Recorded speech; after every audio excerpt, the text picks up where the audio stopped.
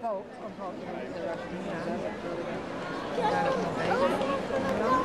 yeah, they're a full 1.2 ahead of everybody else with the two Amanars.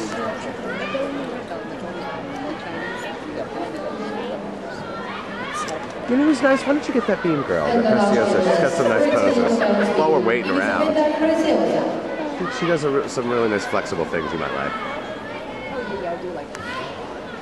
That is nice.